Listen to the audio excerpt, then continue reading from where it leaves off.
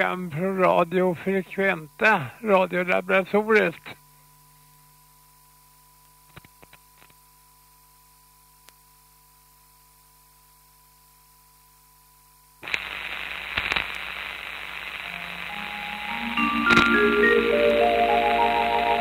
Medan nytt i tono kommer här Radio Nord. Lys, lys, lyssna. För ert därför hör på Radio Nord. Lys, lys, lyssna.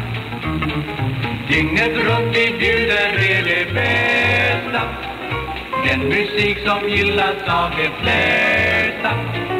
Så välkommen hit ombord, hör allt nytt i Dono. Radio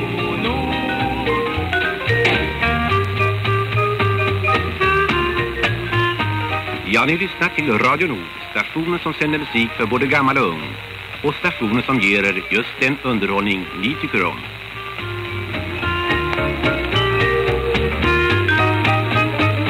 Dygnet runt vi bjuder er det bästa. Den musik som gillas av de flesta. Så välkommen hit ombord, för att lyssna till Dono. Radio Ärade lyssnare, vi sänder nu en hälsning från Radio Nords chef Jack S. Kortsack. Kära lyssnare.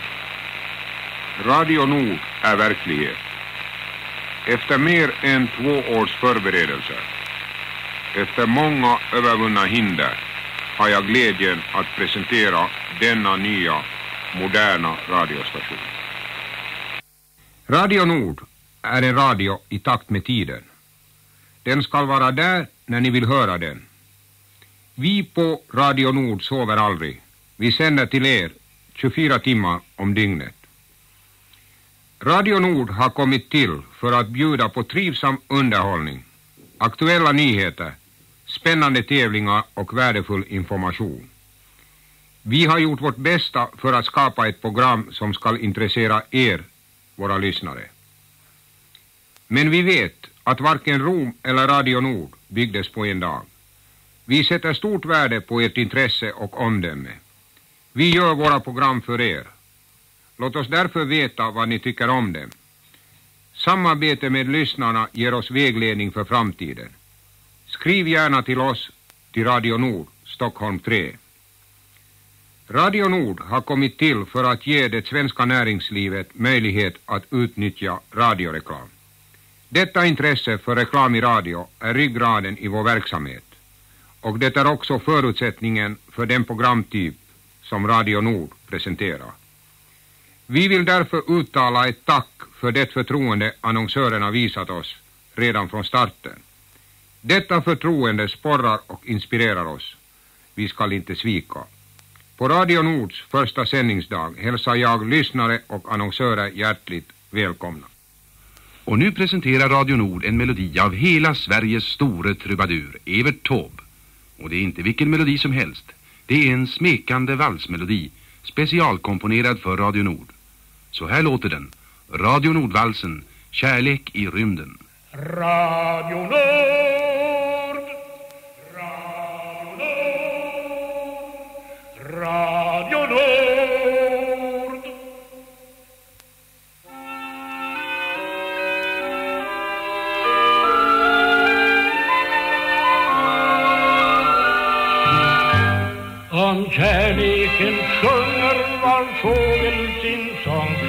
Om kärleken drömmer naturen. Och kanske han smyger till dig någon gång. Vem vet fjällan i ett smid I etern i rymden där står han på språng. Han skjuter sitt skott en till luren. Du känner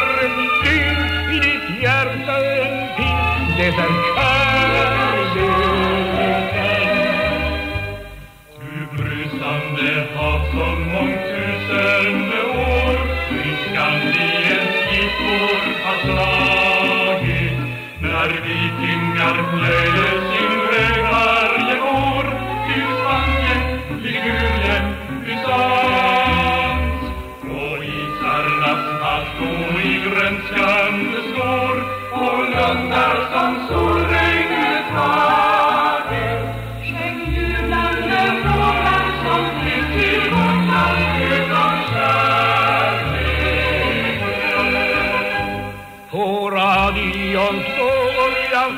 Dig igen.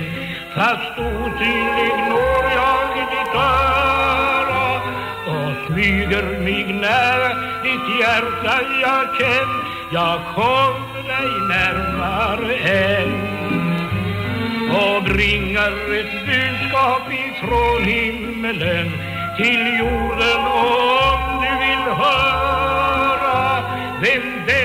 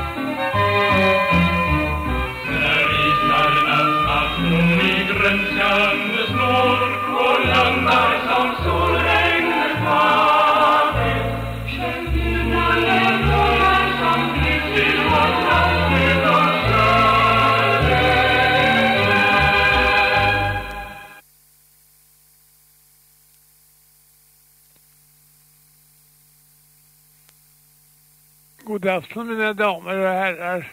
Vi lyssnar till eh, ett eh, program från Radio Frekventa, Radiolaboratoriet. Och vi ska strax öppna telefonväkteri också här. Vi har den 30 augusti 2014 och tiden går fort nu mot höst och allting. Eh, det är väldigt varmt och skönt, 17 grader ute och 1020 hektopascal visar barometern. Eh, nu, vi kan säga att vi öppnar telefonväxteriet från och med nu på 81 21 00. Det ska radion på, helst en vanlig radio. Eh, eftersom det är min mobiltelefon och det går inte så bra alla gånger. Jag väntar om det kommer något samtal annars så får, eh, får vi ta lite musik. Jag ska väl börja beskriva det superetrodynmottag. Nu ska vi se om det kommer en signal till bara.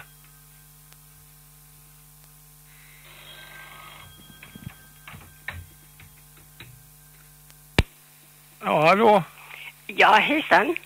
Ja, hej. Ja, jag skulle bara vilja eh, fatta mig kort. Jag undrar eh, var Sverigedemokraterna, de, de har ju valstugor överallt nu numera in i Stockholm.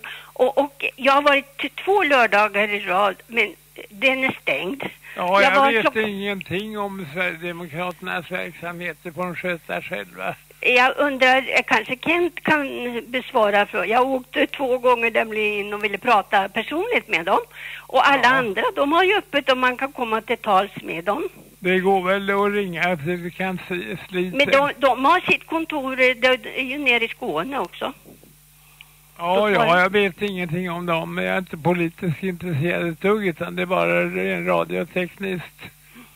Men i alla fall så kom statsministern klockan 12 då till sig så man fick lyssna på det istället också. Det blev något utvecklat. Ja, just det. Men det gick ju deras program och kommer ju i repris imorgon tidigt. Eh, Ja, det är på radio alltså, men det är roligt att träffa personligt menar jag får prata. Ja, just det. Ja, och, eh, har de inte mycket säkerhetsvakter omkring sig och allting? Alltså sta när statsministern kom, eh, Reinfeldt, alltså han kom då, det visste inte jag om, han kom klockan 12 till dit ner då.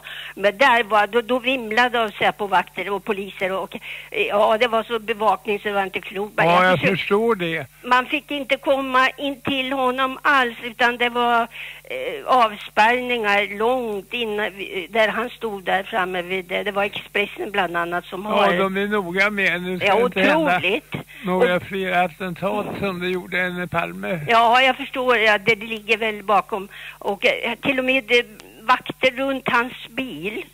Jaha. Så det, det var verkligen bevakat. Det är nästan som man blir Ja, det är väl eh, polisen. Men de det var andra. ju så lugnt. Det var ju vanliga normala människor som är ute och, och, och shoppar sådär mitt på, Det var ju vackert väder idag på lördagen.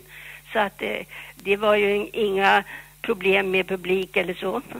Nej, han ska, hade vi, då så- ska vi säga så? så Ja, just det. Tack, tack Hej. för mig. Hej. Hej.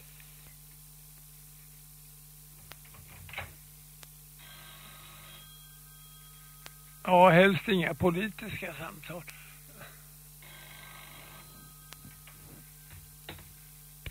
Hallå?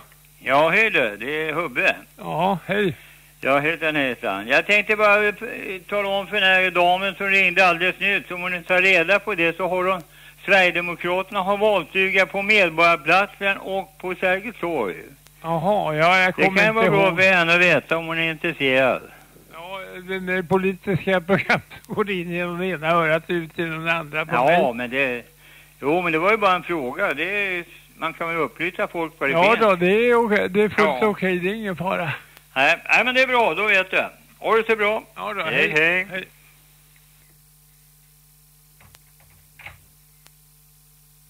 Ja, nu är det ledigt på 81 21 00. Jag önskar gärna att några radioamatörer ringer in också.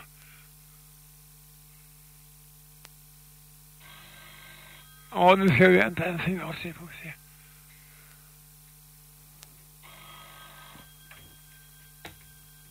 Hallå? Hallå? Ja, hejsan. Du, jag tycker nog faktiskt att eh, det, du har rätt och du säger det. det du, du sänder du för din egen organisation som radiofrekventa. Då ska det vara mu musik och radio och teknik. Ja, fast och, det brukar ju vara väldigt svårt att få folk att... Eh, du vet, radioteknik är väl ett lite svårt ämne nu för tiden. Förr i tiden byggde ju folk sina egna radioapparater en hel del och allt. Ja, men det är nog lite svårt att bygga radioapparater. Min son byggde, byggde en radio, men vi fick aldrig den att funka som den skulle. Vet du. Vad var det för fel då då? Ja, vi fick inte fram någon bra mottagning och det här va. Det, det, det, jag Ja, det vet. måste trimmas upp om det är en superetrodyn med instrumentsignal. Ja, för det han gjorde när han gick i skolan, kommer jag ihåg, vet du. Jag menar, han fick ingen ordning på den så han, han la ner det projektet istället. Fanns det ingen lärare som kunde hjälpa honom? Jo då, men de försökte, de försökte allihopa, men jag tror faktiskt att han gav upp till slut när han inte fick, det var dåligt ljud. Det, Ja, då, då, måste man kolla att det inte är någon felkoppling och alla Ja, motståndare från ja, den ja, här ja, rätta ja. världen. Ja, jag förstår det, men, eh, men jag som mamma har ju ingen talan som du vet att eh, jag vet inte vad jag ska svara. Det Nej, på det är lite svårt för kvinnor det här. Ja, men eh, däremot så idag har, har han en sån här Collings eh, 2000 tror jag han heter, en, en stor apparat med, med sån här världens antenn nu. Ja, men då har han naturligtvis eh, all möjlighet att höra DX. Och, Ja, och, det- det- han det är DX-are själv, han är-. Han är själv DX-are. Ja, då förstår jag. Ja, så att, eh, men han fick ingen ordning på det där, men, på den där, men den- här apparaten han har nu, och här, jag vet, det är otroligt vad grej man, får in mycket på den, förstår Ja, du? det, det är ju en professionell Ja, mottagare. det förstår jag. Men nu bor inte han hemma nu, för nu bor han nere i Skåne, vet. Jag bor kvar i Stockholm hemma, vet du. Ja. För jag är snart 80 år, alltså, men jag förstår mig på radioapparat, för jag har ju lyssnat själv mycket på radio när vi var unga, för du ska veta en sak. För det var inte så värst länge sedan vi hade bara en enda radioprogram och kanske ett program två om man hade radio med Nej, det var ju så att Radio Nord kom Ja. igång och startade Ja. program 3. Mm, jag kommer ihåg Radio. Nord, ja. Men däremot så säger jag så här till dig att eh, jag tycker det eh, att eh, var roligt, roligt att lyssna på utländska stationer för men på, nu på senare tid så tycker jag när man slår, slår på sin radio hemma och eh, nu ska du veta nu bor jag i villa och har själv en, Ja. en, en antenn på taket just för AM. Ja, är det en transistorradio nu då bara, eller? Men, vad sa du? Är det bara en transistorradio? det Nej, det är en radiogrammofon, en rörbestyckad sak, Ja, en då, Siemens. då är det känsligt. En- en Siemens, så vet- Tråkradio går inte att Nej, använda. det går ju inte, det har jag förstått. Men, Nej men, den, men det är inte lika många stationer på långvågen och mellanvågen längre. För min man hade en sån här avstämningsgrej som Ja. satt på, på antennen på en dosa bredvid radiogrammofon som man ställde om på långvåg och mellanvåg och det kort. kan man säga som en kort antenn blir lite effektivare också. Ja, och vi, jag har provat det där. För att eh, den där apparaten har ju inte ens FM, men det får man lyssna på en transistorradio. Men i alla fall, den där går jättebra på utländska zon, men jag upplever det. Det är inte alls lika mycket stationer idag som det Nej, det var förr. för de dragit ner effekten de hörs inte Ja, så det är bra. inte det, men det är inte må- är- Och, och dels är det, de går över till internet. Eh, Ja, det ska vara det då. Men så sänder de på mellanvåg fortfarande, även om man drar ner på effekten, vet du det? Ja, det finns många, jag hör jag mycket, mycket bra här, men då kör jag ju med långa antenner långt ner i skogen. Ju, ju längre ju bättre med. Ja, men det är klart det blir det. Det har jag förstått också. Men, men använder man verkligen mellanvåg och långvåg för närlyssnandet idag som det var, var som, det gjorde man ju förr, vet, innan FM-bandet kom. Vad jag Ja, men Holland till exempel har satt igång en massa privata. Ja, men det är de det, det är de ja, det. det. är de. Och då ska jag upplysa och dig. tyskarna håller på sänder med starka sändare på mellanvåg. Vad sa du? Nu hörde jag inte vad du sa. Tyskarna. Ja, tyskarna, ja. ja. de är Men- ju, Mm. eh, kör ju starka Ja, då ska jag berätta är en sak för dig. När jag var nere i Italien här i somras här nu, ja början på sommaren här, så var vi på sån här charterresa med buss ner till Italien, ett gäng pensionärer vi har, och vet jag, och då hade jag min äh, transistorradio med mig, ja den är ju rustad för både FM Ja, och det långvåg. fanns för många privata stationer. Ja, det har de där nu. Och där var det, hade jag radion som var rustad både med FM och långvåg och mellanvåg, och till och med kortvågsband. Ja. En- En Philips eh, jag har. Ja, Och- de är ju bra i alla fall. Ja, den här är ju rätt, men den är bra gammal nu men den funkar. Men i alla fall så, den satt vi och lyssnade på eh, i, i Italien. Det var många roliga bra stationer. Radio Italiana, de körde. Alla Ja, just det, det, det. En gång så var det ju ett gäng killar från Italien som reste hit till Sverige och, och gav mig en del CD-skivor och Jaså? en del eh, grejer, eh, en förstärkare och lite av varje. Eh, Och, och de berättade ju att, om det här och de tyckte det var konstigt att de inte hade egen sändare för det har de allihopa, de flesta i Ja, Italien. men det var mycket rolig musik där. Det tycker jag nu här i sommar när vi ute åkte. För jag, det var hur mycket kanalträvred som bara fått skjutsing. Ja, vart du än vänder radio, vet du. hittar du en privat liten station som sänder och, sen är det bara att välja vad man tycker om för. Ja, det var både FM-bandet och mellanvågen. vi- Till och med på långvåg hörde man ibland. Ja, överallt och vissa lediga frekvenser. Så. Men, men det var det. Ja, det, dit du åka. Vad heter du? Georg heter vet Ja, just det. Problemet är att eh, det är svårt att vara borta härifrån eftersom då står allting eh, tomt och ofta blir inbrott. Bara... Ja, det är klart. Det är inte roligt. Nej. Nej. Eh, nej, jag heter Ingeborg Larsson och du vet du, och jag hoppas att du mår bra och du tycker det är kul med radio. Och jag, det här är ganska roligt att höra på. På vet du. Är Ja, det en är här- bland de få som försöker komma igång med det själv eller Ja, allt ja. arbete på... Ja, jag tänker inte sätta igång och börja sända radio, men jag tycker det är roligt att lyssna. Jag säger till min son, han tycker kul i DX att lyssna. Men nu har han ju en sån där dator också, så han, han har kopplat datorn till den där uh, calling, så det finns någon jävla urtag. Jag- Nu, nu får du Ja, man kan ha en eh, tillsats eh, så kan Ja. man ta emot eh, datasändningar. Ja, just det. Och han får ju in hur mycket som helst nu med. Ja, det vet jag. är inte så datakunnig som han, men han bor ju nere i Skåne numera, Ja. vet du. Så att, eh, men, men man kan ju inte få in dig på FM-bandet för du sänder ju inte på internet vad jag vet va? Nej, det gör jag inte. Nej. Och dessutom eh, det, jag, må, jag har ju inte så god ekonomi så det gör ju att eh, man måste begränsa, skaffa sig för allt för mycket grejer. Nej, just det. Det är allt bra att, att du tänker på det. Men jag Och så tycker... har problem med att villan måste ju repareras. Överhuvudtaget någon hantverkare verkar hopplöst. eh, Ja, de är och svåra att få tag på. Jag bor själv i villa. Jag tycker det själv är pressvärligt med... Ja, det taket har börjat läcka Ja, och det är jag måste ha det. byggnadssnickare som går upp på vinden. Men och det kostar minst en miljon göra ordning det du. Ja, det har jag inte möjlighet till. Nej. Bara så det blir tätt där så det rinner ner vatten Mm. i köket. För när jag la om taket för tio år sedan, för att eh, då var man tvungen att lyfta av de gamla takstolarna och sätta dit nya, för de var ju alldeles uppruttna. Det gick inte att göra någonting åt det, vet Ja, här tror, tror jag att det bara är en eller två takstolar. Ja, Eh, men det- det är det värsta är att de andra följer eh, bara med. Det framsidan inte- terrass, terrass, så där är rätt mycket att göra. Men det Ja, går att just det. Men spika om du ihop. lyssnar nu här, de, de andra följer med när man byter på en, ett ställe eller två ställen. Då, kom, då är det någon, någon månad eller två så ramlar det så, så räcker det där. Utan det var som byggjobbaren sa till mig, vi är tvungna att plocka ner alltihopa, sätta dit nytt och bygga nytt. Det går Ja, inte men då annars. har man att välja antingen att inte göra det alls eller ruinera sig och det kan man ju inte Nej, betala. nej. Eh, Då blir det ju att man inte kan betala och det kommer ju Kronofogden och tar allt för man äger. Ja, det är inte bra.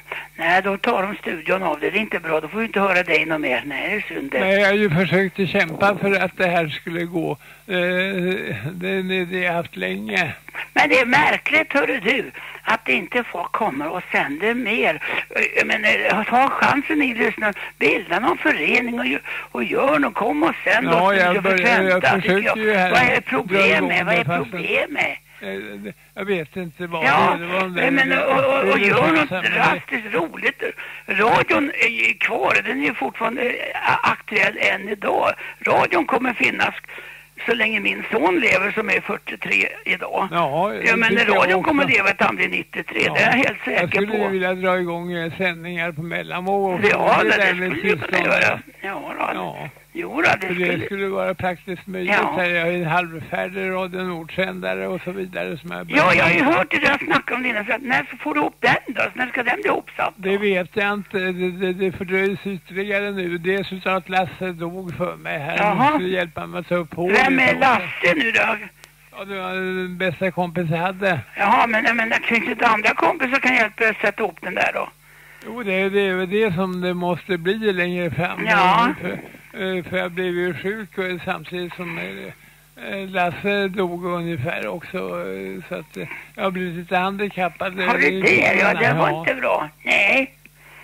Nej, det var inte alls roligt för jag var hos veterinär med Sita och hon har faktiskt gjort fort ont i höger bakbenet så hon har gått, gått på tre ben den sommaren. Nu gick jag till och då hade hon en spricka. Jag vet inte sjuttsingen hur hon har fått det ifrån. Det är en sån där... Hon kanske har fastnat i något. Ja, vadå till exempel? Ja. Något skrot som har legat. Ja, det var antagligen. Vet du, vi, så att nu hon går, går nu bandage lite smågipsat här vet du. Ja. Det, det, det är en sån här papiljong jag har vet du. Jaha. Ja, och det är inte roligt. Ja, jag hade ju katter förr. Har du haft det? Ja. Den äldsta var ju 19 och år. Ja. Och den yngre eh, 16 år innan den blev så gammal att hon dog av ålders...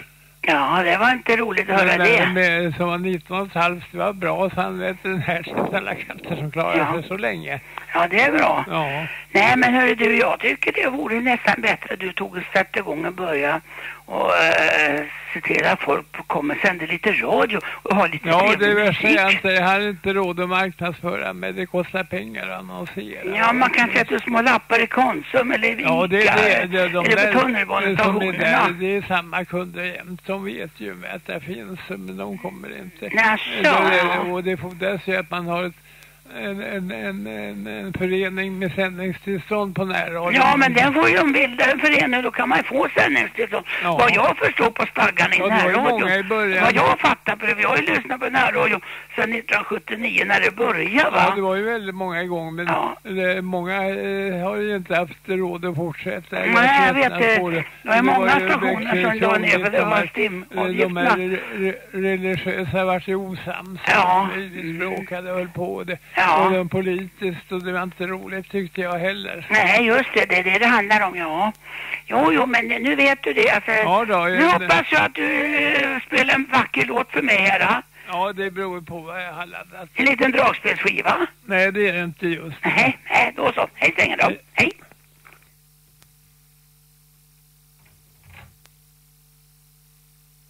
Ja, det var det ett samtal också.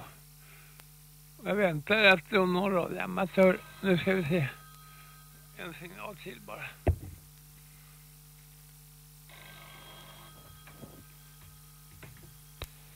Hallå? Ja, hej Georg. Ja, hej. Det är Kjell-Åke Hult här i Hökarängen. Ja. Hur står det till?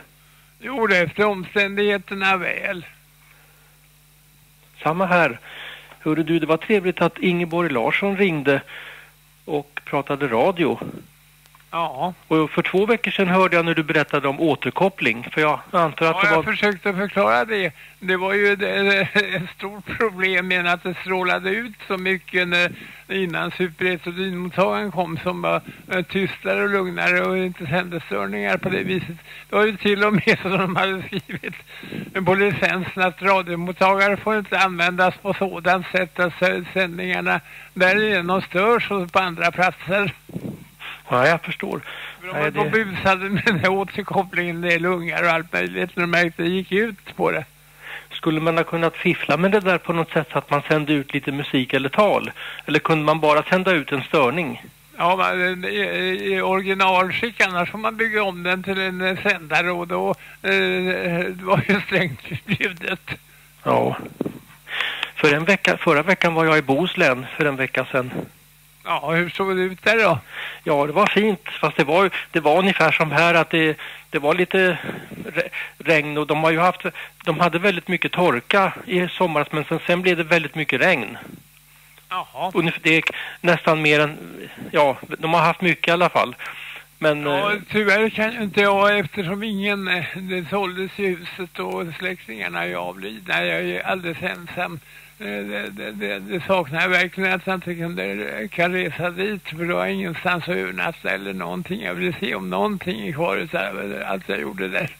ja, det skulle vara skojigt om någon kom ihåg det där nere på ön, eller i ön.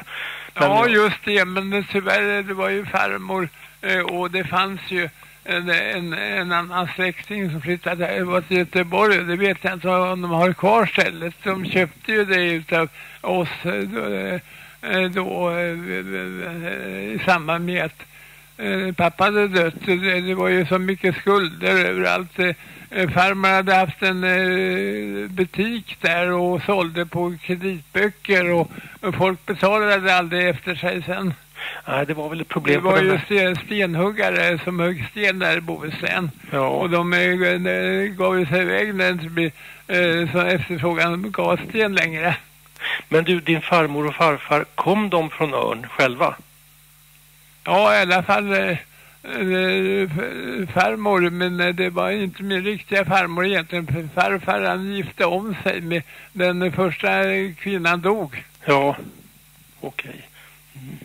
Så, och, och det, det där att sälja på kreditböcker är inte bra tydligen. Då var det skulder sen till varuleverantörer och allt möjligt som eh, låg kvar som pappa fick hjälpa till. Och han ville ju ha det stället kvar, det var hans barndomshem. Ja. Affären låg där va? I själva huset? Ja, det var det. Ja. Nedlagd, eh, för det kom i Konsum och det klarade de inte heller. Nej, och de, Konsum hade ju det att de, jag tror inte Konsum gav någon kredit. Jag tror, Nej, det gjorde de inte däremot. Utan det fick betalas kontant, det vet Ja. jag. Så att, eh, jo, det vart väl en konkurrens där mellan Konsum och det privata eh, för, förr i tiden. Och nu finns det ju knappt några Konsumbutiker kvar heller. Nej, det, den är nog nedlagd, den Ja. Konsumbutiken om jag skulle resa. Det är jag säker på. Men nu är det ju så att de flesta butiker tillhör någon butikskedja så det finns ju inte bara någon Anderssons livs någonstans för de, det blir all, de, om de det kan, om de finns någonstans så säljer de alldeles för dyrt så att det Ja. blir svårt va? Ja, just och framför allt eh, ska man bo där ute måste man ha bil för att jag skulle inte kunna ta mig till affärer och handla annars. Nej, det är så. Min, mina föräldrar bor eh, i ett område som heter Bokenäs utanför, ja, på landet fast utanför, Ja, utanför var Uddevalla. det inte att tänka på att flytta dit eh, när, när, huset, när farmor hade dött för mig för att de stora avstånd till affärer och det är Ja, arbete jo. därför fanns det för mig där inte. Man måste ha, och kunna och ha bilen måste man. Ja, just det. Och det, dels eh, fanns det inga arbeten på rimligt avstånd heller. Ja, Nej, jag tänkte väl bara, det var inget särskilt, men jag tycker det var kul att du har kommit igång med det här radioprogrammet nu och, och Ja, det, jag försöker. eh, Det, eh, jag måste tacka du vet Ra- Radio Nordfolket, Radio Nord Revival för eh, sändningarna på kortvåg eh, förra veckan. Det var underbart att höra på här. Det var Jaha, kunde du, jag, jag visste inte om att det var någon sån sändning. Var det på 6000 någonting? Ja, 6065 är en utav frekvenserna. Ja, så de kör med några, den? Några andra mindre sändare, men den Det är den den, gamla. som hörde så bra här så att det var som Radio Nord har kommit till- tillbaka. Vet, kommer de tillbaka med, med på den våglängden, vet du det? Det vet jag inte. Nu sa det väl ett år om det någonsin kommer. Det vart ju inget förra året eh, av någon anledning. 6065, det är ju, eh, det är ju den frekvens som Sveriges Radios utlandsprogram använde i många, många år. Ja, jag kände igen den genast som sa Ja. de hade tillgång till någon stark sändare. eh, Du, du, du, du vet där i eh, Vaxholm. Eh, Ja, så jag trodde det var en kille i Sala. Ja, jag, jag, jag jag, trodde var- att det var en, en, en eh, radiointresserad kille i Sala som hade byggt en 10, som hade en 10 kilowatt sändare. Ja, det, det, kan det ha varit också. Jag hörde inte riktigt För det var det, för det var det när de hade 50-årsjubileet. Ja, Men det kan, ju ha, det kan ju ha tillkommit en annan sändare någonstans. Det är inte Ja, o- det går alltid att bygga. Ja. Jag var ju på väg att bygga en Radio Nordsända original här. Eh, till och med med styrkestallen för gamla original. Eh, Radio Nord-frekvensen eh, förstegen är klara så eh, jag får en bärvåg. Men det är inte klart ännu med modulator och slutsteg. Nej. Det kostar ju stora pengar. Slutrörelsen där bland annat. Ja, jag förstår att det måste göra det. Ja, och så måste jag skaffa ett nätaggregat. Jag har ju eh, vilda grejer. Att eh, ta bort spisen, sätta in en eh, kraftaggregat där istället. Den stod med trefastransformator så jag kommer åt trefas eh, vid spisen där för, slutsteget. Ja. Fast det är nog inte så dumt att ha en spis också faktiskt. Nej, jag kör ju mycket vågsugnar nu genomgående. Lasse reparerade ju gamla sådana. Annars Och- får, du väl, annars får du väl koka te på själva sändaren. Jag vet inte om den blir varm.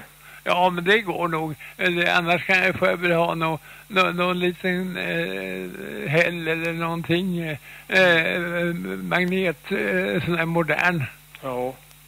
Så det går väl att ordna för jag tycker att eh, jag behöver komma åt tre- trefas eh, om jag ska ha en Radio Nord-sändare. Och jag tänkte att jag ska slippa dra en, eh, en kabel ända ner i källaren för det. Så. Ja.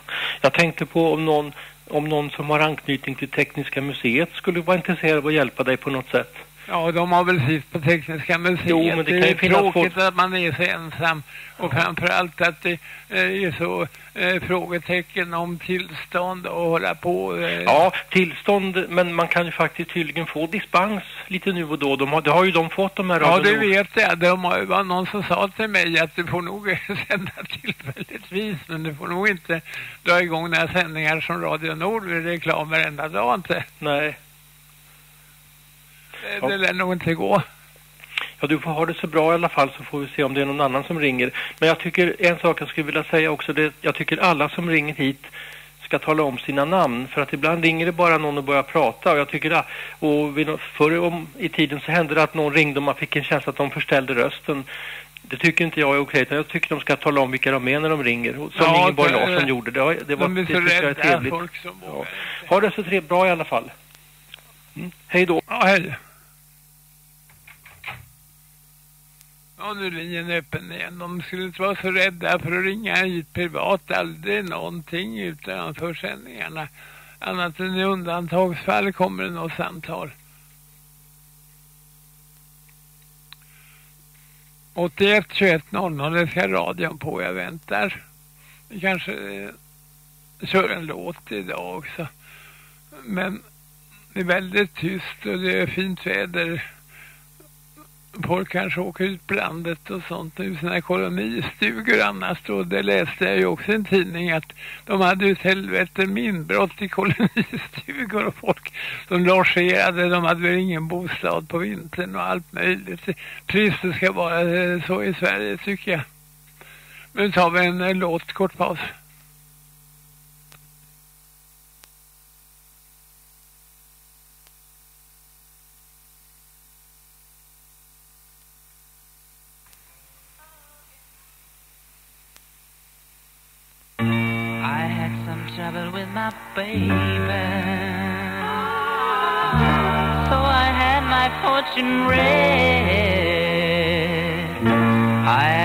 Trouble with my baby. And this is what the gypsy said.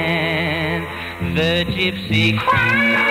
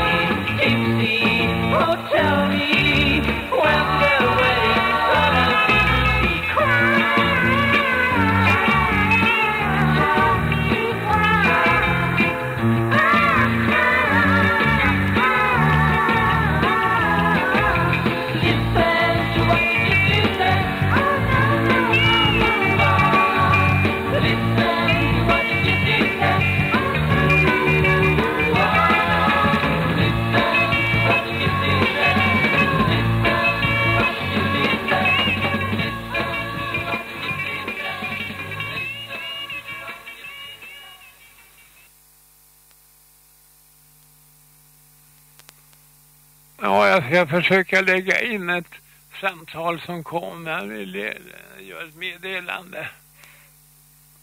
Då ska vi se. Spelmansstämma från Skansen.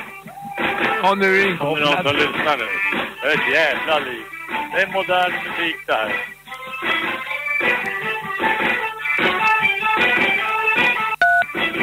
Så här låter det på spelmansstämma från Skansen. Ja, jag hör det. De Det går fram. Ja, du har, verkar inte ha som vanligt en radio som kan höra mig.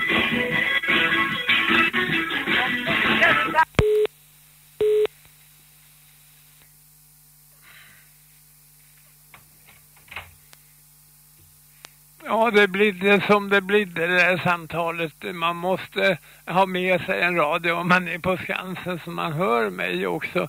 Eh, och så. Det, då, det endast då kan du löpa ordentligt. Men nu är telefonlinjen öppen på 81 21 00. Det ska radion på. Nu ska vi se om det kommer en till.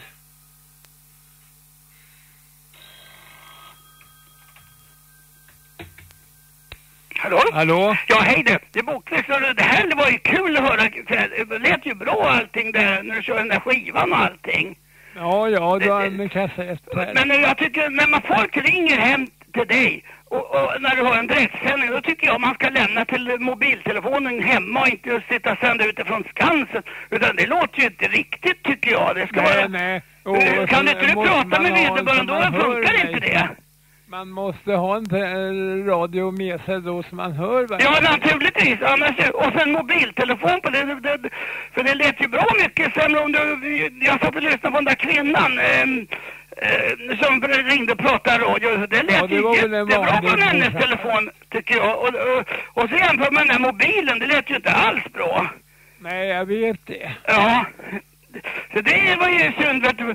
Annars är det bra att de skickar ut informationer och sådana här program. du. Det håller jag med. Det kan vara kul vi andra får, som lyssnar på era sändningar får lite information om saker och ting. Ja, men det blir ju mycket mindre samtal när de inte kan använda. Alla har ju mobiler. Ja, det blir det. Så det kanske är dags att byta teknik här. Jag är inte vet jag. Jag är ingen expert. Det Nej. är en rimlig kostnad. De Nej. måste allt göras om. Ja, men jag tycker det här var jättekul och, att du, för, och sen ska man inte prata politik när du sänder sådana här, mus- eh, ja du sänder, det är väl någon radios, eh, vad är det? Ja, jag, jag, jag försöker att förklara hur radiotekniken Ja, just det, ja. fungerat förr i tiden. Nej, och sen är det där med bygga sändare, det är ganska besvärligt och det kostar ju pengar och det... Och, och, och Ja, så måste man ha kunskaper. Jag skulle inte kunna sätta upp en Nej, sändare. men, när jag var 13 år så fungerade den första i Bohuslän. Ja, när jag var 13 år, då skruvade jag isär en moppemotor i molekyl och mina föräldrar trodde jag aldrig jag skulle få upp den, men det fick jag. Sen var jag ute och åkte moppe. Ja, det fick Sen du. den, sen att den gick mycket fortare än den gjorde från början, det är en annan sak. Men... Ja, då kommer farbror polis. Ja, de där bryr man sig inte om. Nej. Jag ska berätta en sak för dig. När jag var ung, nu vet du, då var vi ute och körde moppe. Vi, dels hade jag inte åldern inne till att börja med. Och sen var vi ute och körde, den var frimmad. Ja. Och sen, jag bodde där nere i Enskedefältet och, och sen mötte jag, på den tiden hade poliserna bilar och märket Opel Kapten. Ja. Och det såg inte jag. De, de var ju svarta, de var inte flerfärgade som vi då. De var kolsvart. Och jag körde om den där och, och, rätt, och då, när jag hade precis kört om den där Kapten, då såg jag att det stod en skylt längst fram uppe på taket. Polis. Ja. Då drog jag på moppen gick och körde upp vid Enskede skidbacken och slängde av moppen där och slängde av med skinnjackan så gick jag ner och tunnelbanestationen i Sockenplan. Och där åkte poliserna runt och letade mopp moppeförare som har stuckit. Ja. de kunde inte åka upp i skogen med en stor Opel Kapten. Men det kunde jag med moppen och sen slutade med det. De åkte ner och så till och med stoppade mig och några kompisar och undrade om vi hade sett en kille på en, på en blå moppe. Ja, det finns många blåa mopeder och skinnjackor med, sa jag. Ja. Vilken av dem är det jagade, Ja, sa jag då. visste de ju inte. Nej, sen gick jag, och sen när kvällen kom vid nio, på kvällen, här var på hösten, det var också, någon gång i oktober månad, då gick jag upp i skogen, hämtade skinnjackan och moppen och gick hem med den. Ja. ja, då skulle det vara med Georg. Ja, jag såg ju dig. Eh, Du var en liten unge som höll till nere på slä, äh, slätten innan man byggt fabrikerna där. Ja. Jag ofta eh, var där och hade bärbara radioapparater och lyssnade hörlurar. Ja, jag, det minns jag att jag kommer ihåg att du hade det. Vi, vi hade våra moppar och cyklar och allt vad vi hade. Det kommer jag ihåg. Och jag kommer ihåg att du hade en ganska fin transistorradio, en, Aiva. Ja, men det var det inte. Det, den hette Global. Ja, så var det, ja. Eh, Och dessutom var rörbestyckad. Det var ingen transistor. Nej, ja, ja, det var. Det, det var en fin radio. Jag såg att du hade det i alla fall. Det minns jag mycket väl Ja. att du hade. Men eh, sån fin radio ägde inte jag då när jag var i de där åren. Nej, det var ju när jag jobbade i radio. Men sen när jag blev en 14-15 år, vet du, då började jag få lite bättre grejer och, och sådana här grejer. Men okej då. Ja, ska vi släppa Ja, nu? då säger vi så då. Hoppas du får trevligt. Hej då! Ja, hej.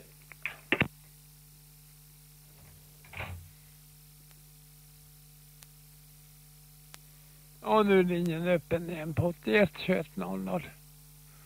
Vi tar en låt till för strax tid att eh, vända det referensbandet.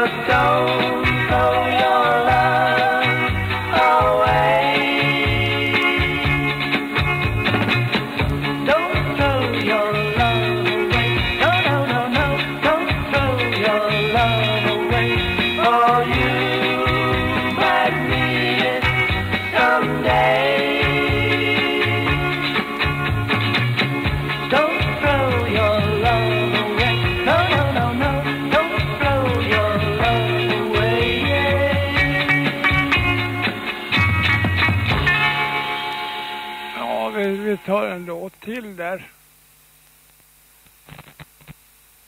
Ja!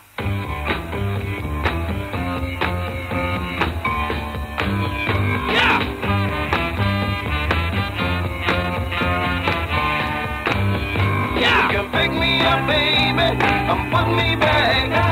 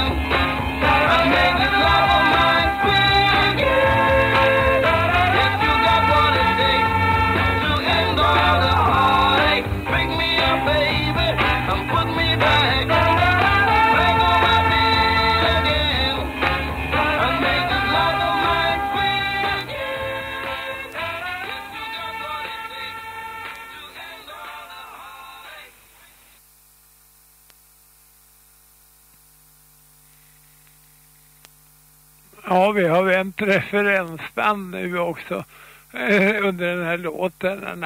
Men eh, jag vill än en gång tacka Radio Nord för folket för trevliga Radio Nord Revival-program.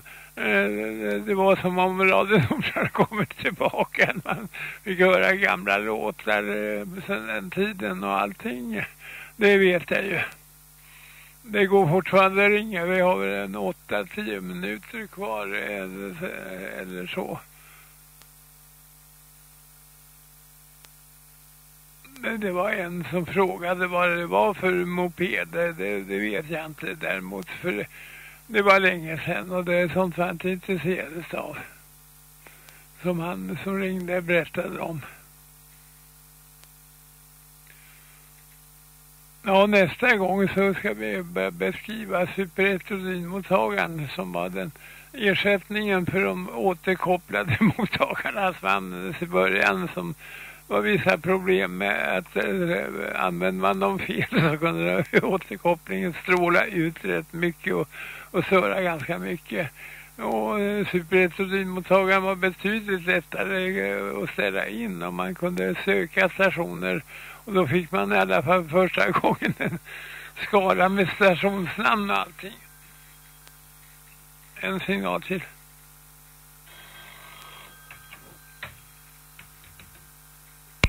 Hallå? Ja, hejsan. Mitt namn är Benny Hedman. Hörru du, jag kan tala om en sak för dig. Det, det, det, han som ringde dig, vet du, som pratade om sin moped. Jag har ett svagt minne av att jag gick i nämligen samma klass som honom. Vet att jag, det var en Husqvarna Omelette. Ja, han bodde Omelette. vid Sockenplan en gång. Ja, det stämmer. Ja, det var en mörkblå Husqvarna Om- Omelette hette den, kommer jag ihåg att den hette.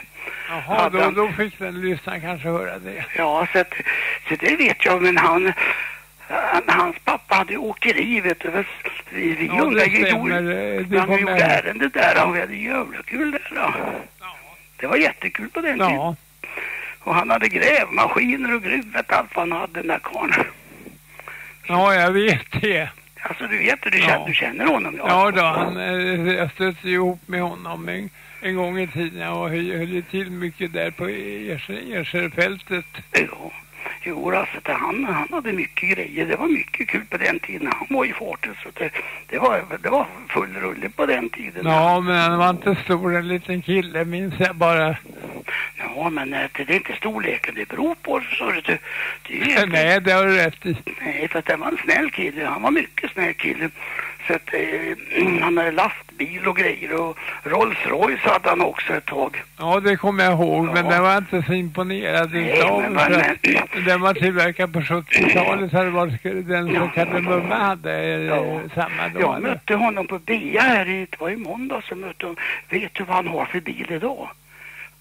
Nej, jag kommer inte ihåg. Nej, han, då ska jag tala om, han har en Porsche Cayenne heter den modellen. Ja, mycket fast dyr jag, jag gillar inte bilar.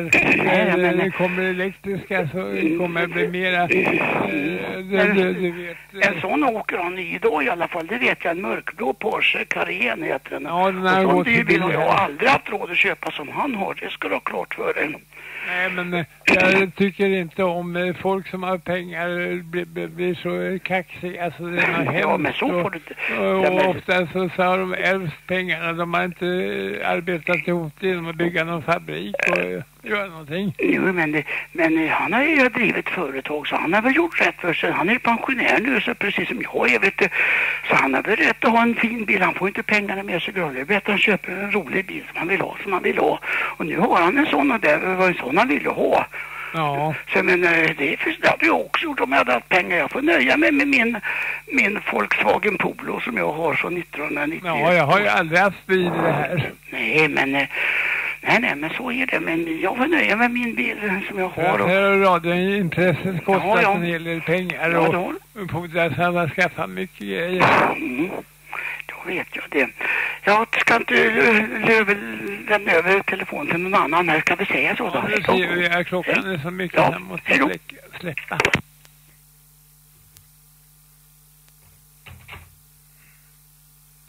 Ja, nu lär vi väl inte hinna ta in något mer samtal så telefonväxter är till slut för den här gången.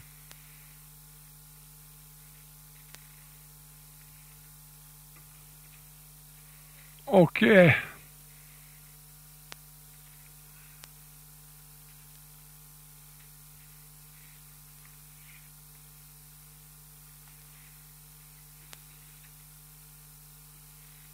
Ja, det ringer syrningen. Det blir Gunnar förmodligen som kommer att köra efter nu eh, det är hans program.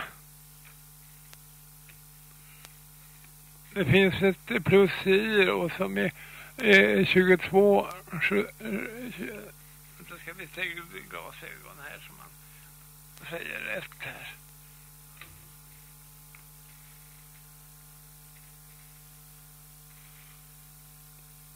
Tjugotvå arton sjuttionio eh, streck noll eh, i eh, postgirot som går till eh, studiofrekventa och så, som går oavkortat till, till radioteknik och vi eh, försöker utveckla en fria radio alltså 22 18 79 streck 0 och eh,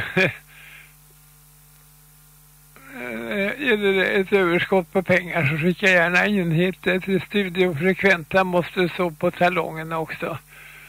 Och eh, det går alltid att ringa mig privat på 81 21 00 också. Eh, gärna imorgon eller eh, senare ikväll. Eh, annars går det lämna meddelande på telefonsvararen också. Min hals krånglar lite grann nu igen som vanligt.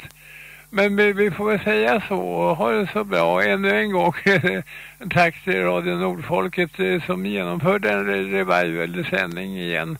Eh, du vet, det var ingenting förra året nämligen eh, så det var därför eh, trodde jag kanske var slut med det. Ja, jag skulle gärna eh, ha något liknande härifrån om jag fick alltså, men det, är- det är med tillstånd och det är lite krångligt.